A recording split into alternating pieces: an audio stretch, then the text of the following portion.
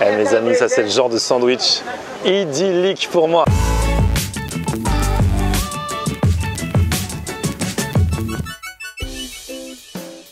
Salut tout le monde, bienvenue, nouveau vlog aujourd'hui. Et ben voilà, on continue de voyager, on va prolonger un petit peu le voyage euh, en cette rentrée, courage à tous ceux qui ont repris le travail ces derniers jours. Je suis en Italie, je suis dans les Pouilles, je vous mets euh, une petite carte dans un coin pour que vous puissiez visualiser par rapport euh, au reste de l'Italie. J'étais déjà venu pour les plus fidèles faire une vidéo ici il y a genre 3 ans, donc je suis à Bari, j'avais testé la véritable focaccia des Pouilles qui était excellente, les orecchiette également que les dames font dans les rues du vieux Bari. Là il y a encore d'autres choses à tester D'autant que je vais retrouver un restaurateur que j'avais rencontré à Paris, qui a un super restaurant. C'est Massimiliano. Lui est originaire des Pouilles. Il est en vacances ici en ce moment. L'occasion donc bah, de me faire guider par ses soins. quoi. Et si vous voulez justement voyager en cette rentrée, n'oubliez pas qu'il y a le village international de la gastronomie qui ouvre ses portes toute cette fin de semaine au Trocadéro. Je vous mets toutes les infos dans la description. J'y serai ce samedi d'ailleurs. À tout moment, samedi, venez me rejoindre là-bas. On goûtera des choses ensemble. Allez, go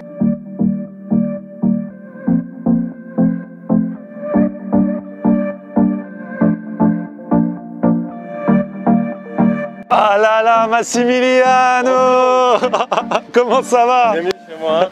Coucou Ça va Les deux là, je les ai connus du coup dans leur restaurant. J'arrête, cuisine, euh, tout, basta maintenant, chemise, tapette.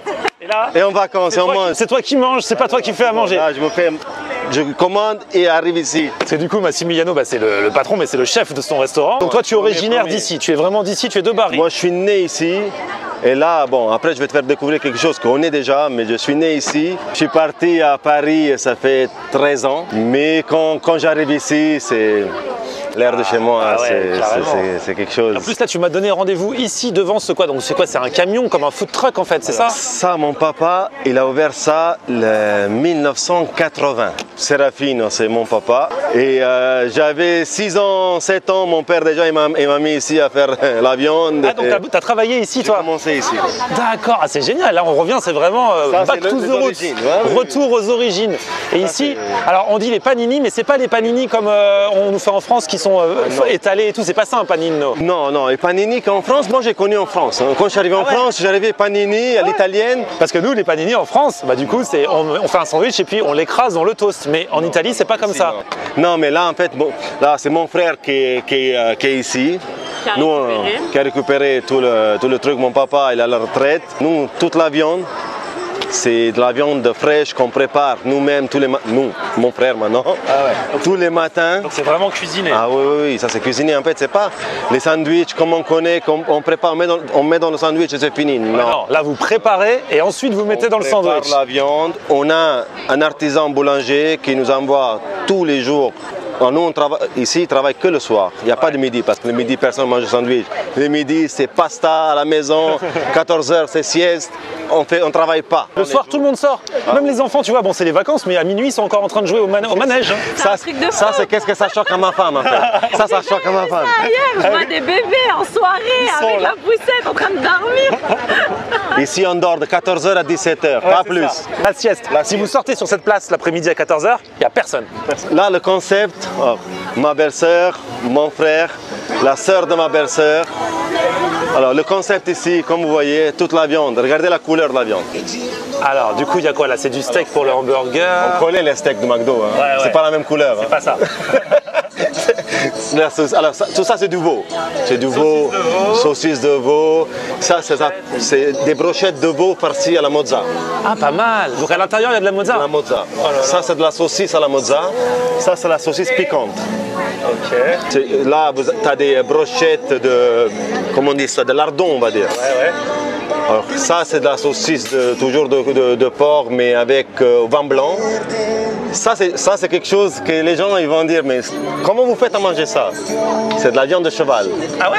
Ah, les bombette, c'est pas mal ça, les bombette. Hein. Bombette, c'est de la viande de veau, de porc, de bœuf qui ont farci. a des- en fait, c'est des- de la viande surprise. On peut trouver, par exemple, de la pistache, de la burrata.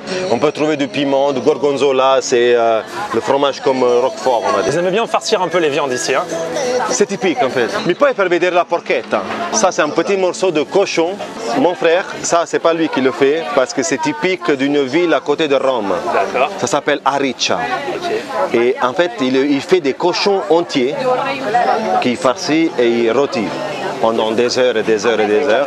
Et il le reçoit et ça, on coupe, on met dans le sandwich, bien toasté et on mange avec du gras et tout. Bon, c'est un truc de cochon, hein, ça, dans, le vrai sens, dans le vrai sens du mot. hein. Eh, J'ai l'impression que là, tu nous fais découvrir une sandwicherie. Donc on dit une paninoteca, c'est ça Paninoteca. Paninoteca. Paninoteca Serafino à Bari. Ah, c'est ça, donc c'est ce qu'il vient de nous montrer. C'est le, c'est un sandwich Là, on l'a mis dans le sandwich, la porchetta à l'intérieur. Tout simplement. Alors celui-là, en fait, le concept ici, c'est comme un, on met ce qu'on veut, tous les sauces, n'importe quelle sauce. Il y a tous les légumes, des légumes maison. D'accord, donc on euh, choisit déjà la viande et après on peut rajouter différentes choses. veut. Soit tous les légumes qu'on veut, de la mozza, de la mozzarella fumée. C'est beaucoup comme ça dans les sandwicheries, euh, dans les Oui. paninoteca. C'est ça le principe. hein. Le principe, c'est ça. En fait, on choisit qu'est-ce qu'on veut. Et après, toutes les sauces, n'importe quelle sauce. Et après, on fait le sandwich. Bon, celui-là, il n'y a rien dedans. Ah, parce qu'il y a besoin de rien d'autre tellement c'est bon. Ça, il faut le goûter comment il est. Parce que la viande, il faut la goûter comment elle est. C'est vraiment quelque chose euh, à goûter. Ah, c'est magnifique. Avec le pain donc du boulanger, c'est ça Ah, ah, le pain, il- faut goûter le pain. C'est vraiment du, un pain de boulanger que tous les matins, il nous l'envoie. Déjà, rien que de voir la porchetta hors sandwich, là maintenant il l'a mis dans le sandwich. Et la viande est super savoureuse. hein. Et le pain, il est bien croustillant. Regardez-moi ces tranches de porchetta. Elles sont fines, c'est tendre. Il y a un, un secret. On se penche. Ah, on se penche Ne te salis pas. Ça, ça c'est la classe italienne. Street food, mais avec une chemise blanche. Ça peut être, très- ça peut être très dangereux. Mi fai una zampina. Scamorza, bella. eh, insalata. Là, Massimiliano, il vient de faire une commande là. Il vient de faire une compo. J'ai compris quelques trucs. En fait, c'est de la saucisse de veau qui c'est euh, typique de Bari. C'est une ville qui s'appelle euh, San Michele, c'est un, bon, c'est un, un quartier de Bari. que Ils font de partout, ils viennent pour goûter cette saucisse-là. Et ça, on la mange même crue. Par exemple, le tartare, on connaît le tartare. Ça, on la mange crue. La saucisse crue. Ah, c'est chelou. Eh, vous m'aurez tout fait faire goûter de la saucisse crue. J'ai jamais goûté, moi. Aujourd'hui- Toi, toi, tu adores J'adore. Ah ouais. Sel, poivre. Saucisse crue. Ah bon c'est bon. hein C'est c'est quoi cette tête-là J'ai j'ai une, une tête satisfaite. J'aime cette Ah, tête. c'est une bonne tête, c'est bon. Jamais j'aurais dit. Hein. Je dis que c'est bon. Grazie.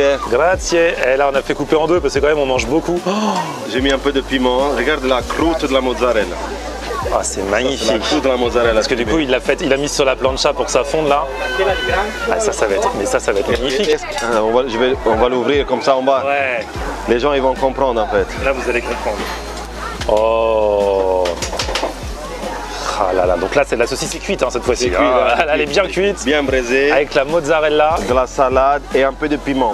Magnifique. Juste un peu d'huile pour donner encore plus, relever encore plus le goût. Eh mes amis, ça c'est le genre de sandwich idyllique pour moi. Allez, à la vôtre.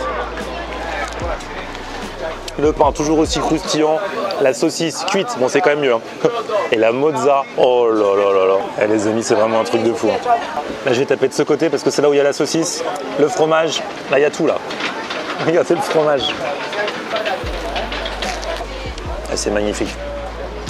Ça, c'est le vrai panino, les amis. Eh, franchement, on se régale, Massimiliano. Mais ça, ça fait trop plaisir de se retrouver ici, un peu là où tout a commencé. Et qu'est-ce qui t'a donné envie de venir en France alors? Et ben moi je suis venu en France, à Paris, à Ville Lumière, pour apprendre le français. Je suis arrivé, je savais dire ça va et merci. Ah, donc t'es arrivé, t'es arrivé là-bas avec ta valise, tu savais pas du tout parler français. Rien du tout, vraiment, c'était quelque chose. euh, Les gens, ils, me, ils commençaient à me parler, je dis non, non, non, non, non, juste ça va, merci. Et après, avec le temps, T'as appris en travaillant dans un restaurant Ouais, J'ai travaillé dans un restaurant italien parce que c'était facile, je connaissais déjà les mots euh, roquette, tout ça. euh, C'est facile à comprendre. Et Margarita. margherita, pasta pomodoro, tout ça, c'était simple. C'était beaucoup, euh, j'étais à mon avantage. Ouais. Et j'ai commencé à travailler en salle parce que je voulais apprendre la langue en fait. J'ai appris la langue pendant deux ans en salle au restaurant et après je suis retourné à mes origines en cuisine. J'arrivais pas à prendre plaisir en salle. C'est- Il faut être pour quelque chose. Bah oui. On est, euh, Le truc c'était faire. moi, c'était ma- moi, c'est la cuisine. C'est la cuisine, parler avec les poils, pas parler avec les clients. Écoutez la poêle chanter. Ah, c'est bien. Ah ouais. Oh là là, il y a Massimiliano qui est parti demander d'autres choses là. Ah, du coup, on goûte d'autres trucs, mais sans le pain parce que sinon on va être calé. Là, c'est, là, c'est grillade. On mange, on mange les grillades. Ça, ça s'appelle straccetti. C'est de la viande émincée de veau. et juste c'est les poivres et cuit à la braise.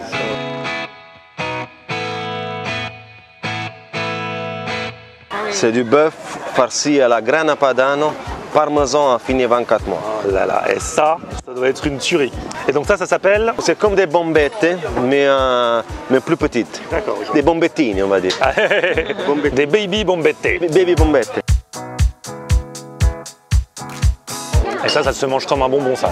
Et là, du coup, en fait, ils ont, en fait, tu vois, là, on voit bien, ils ont, c'est de la viande en fait qui est roulée, qui a été enroulée, et au milieu, il y a le, et au milieu, il y a le fromage. Oui, C'est ça. mais ça fond un peu. Imagine, tu as une box là devant la télé, c'est mieux que, mieux que les popcorn. et ils s'arrêtent jamais. hein. Ah, ça, c'est les bombettes. Donc, tu peux expliquer ce que c'est qu'un bombette? Ah, le, le vrai mot de bombette, c'est bombe. Le bombe, quand il y a une bombe, il y a toujours quelque chose à l'intérieur. Ouais. Il y a la poudre euh, qui, ça- qui explose. En fait, quand on mange ça, ça doit exploser en bouche. C'est pour ça qu'on appelle bombette. Parce qu'il y y a toujours quelque chose, il y a toujours farci à quelque chose. Mais on sait pas à l'avance à quoi c'est ou ils le disent, les commerçants Ils le disent. Ils le disent. Pas tout le monde. Après. Après, si quelqu'un, par exemple, moi je dis, fais-moi des bombettes, et ils vont me dire, ils vont me dire, comment? Choisis. C'est à nous de découvrir qu'est-ce qu'il y a à l'intérieur. Et là, du coup, tu sais ce que tu sais à quoi c'est?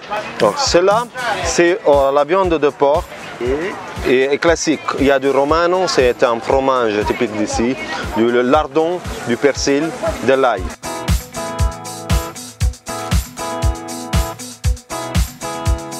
Ça a explosé Explosion vient de se produire. C'est une bombe. hein. Ça, du coup, ça se mange forcément euh, one shot. hein. Ah oui, non, c'est one shot. On veut découvrir vraiment la chose, c'est one shot. Après, si on coupe, il y a tout qui sort et, et- et on voit déjà qu'est-ce qu'il y a à l'intérieur. C'est comme on dit, on ne sait pas qu'est-ce qu'il y a dans les nems, hein, on ne sait pas qu'est-ce qu'il y a dans les bombettes aussi. hein. En tout cas, merci Massimiliano. Ah, merci à toi. On se retrouve très vite. Si vous voulez aller à Paris euh, tester le resto de Massimiliano, la Boca, je vous mets les infos dans la description. Et puis d'ici là, petit pouce vers le haut si vous avez kiffé la vidéo. Vous, vous vous abonnez à ma chaîne. Allez, deux. Et on se retrouve sur mon Facebook, Florian en air, et Twitter, Snapchat, Instagram, TikTok. C'est aussi Florian on air. On aime regarder Florian on air. Ok. On aime regarder Florian on air. Ha, ha, ha. On aime regarder Florian on air. Alors, tu dis quoi, Florian?